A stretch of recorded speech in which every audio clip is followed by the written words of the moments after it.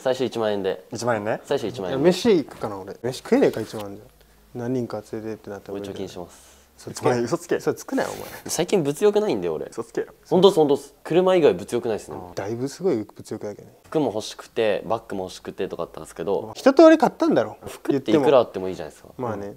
服はでもさ時期じゃないもん。今の持ってる服に飽きてきたら欲しくなるし。使わないよね無理して。そうっすね。貯金ですか？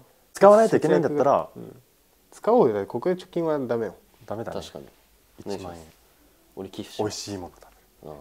ごご飯。飯ご飯や。ご飯。1億円あったら半分投資したいよね。なんかおお資産運用したい。自分でやるの？資産運用。いや。信託？信託かな。勉強しないといけないしね。そうだよね。いやわかんない。そこは難しいからもうちょいシンプルな答えの方がいいよねい。つき君は？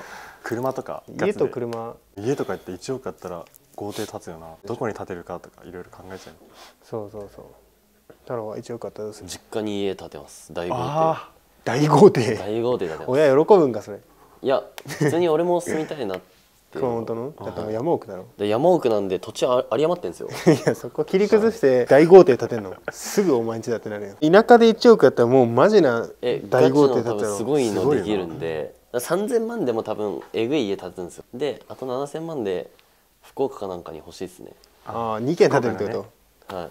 欲しいね。いいね。福岡は欲しい。東京も欲しい。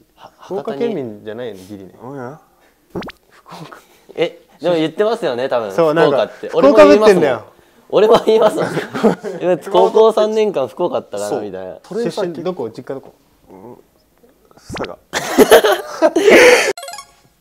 え言われないな俺はもいや俺もないっすね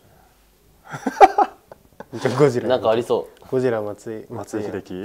秀喜もうええってそれ。もう長いよな。長いね。もういいよな。飽きた。もういいよ。うんう俺初めて聞いた